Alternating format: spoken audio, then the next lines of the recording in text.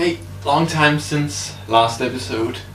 It's because sadly, um, some of my recordings when I built this motor controller was lost.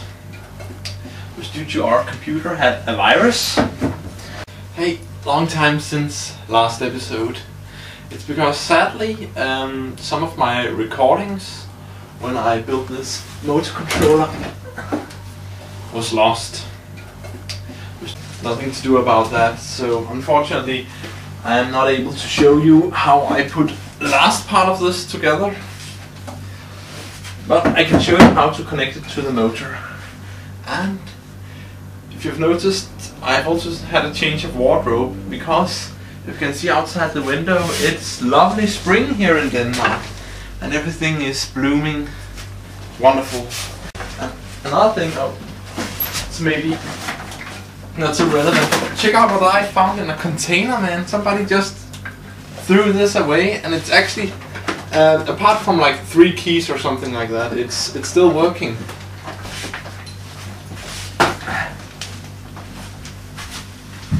I haven't been able to shoot this for a while uh, because I lost the charger for this. So what I did was that I just hooked it up, turned it on here, and hooked it up to uh, a standard uh, car battery charger.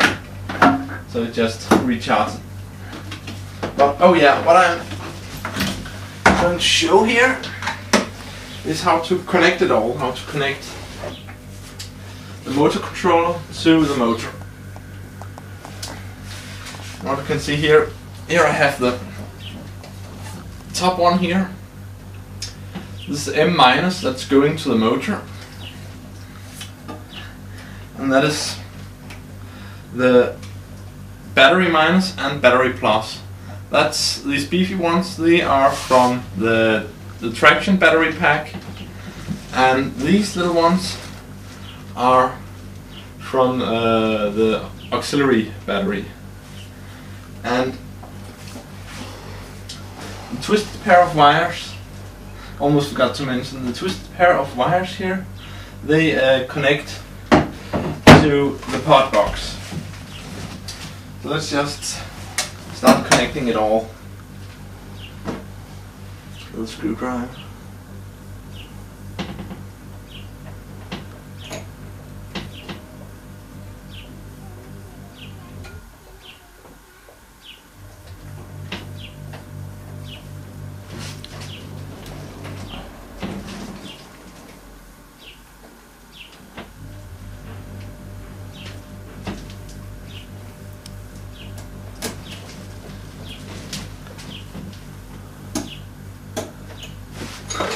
Okay, so pot boxes in.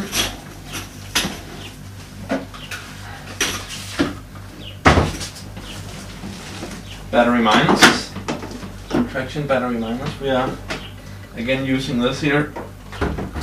Car jump starter to power it. And plus. And here we have the motor minus. Just the minus of the controller. And the motor plus goes to the plus of the controller. And as our auxiliary bat, I'm going to use this here um, little bench tester that I built myself a couple of years ago. And there we have it. It's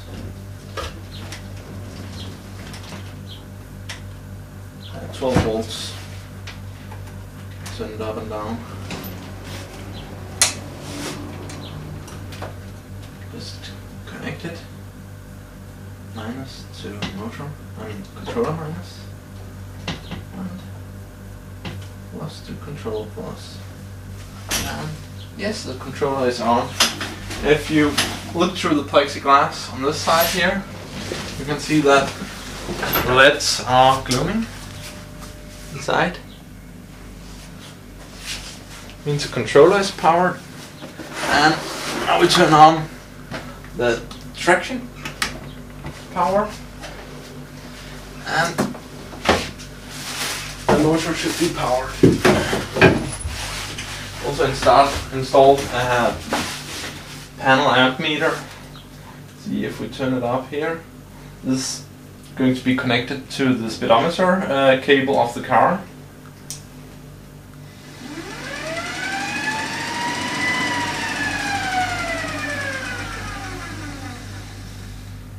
You can also try to make it go slow.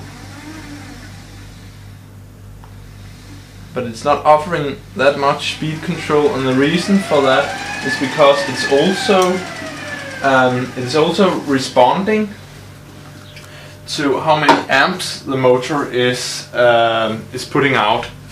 So uh, because it's not really putting out that many amps because it's it's in idle and it's not connected to uh, it's not pulling anything it uh, won't uh, be giving that much control because it's made for of course controlling it when it gives out a bit more amps. It still tries to like accelerate it really slowly slowly as I can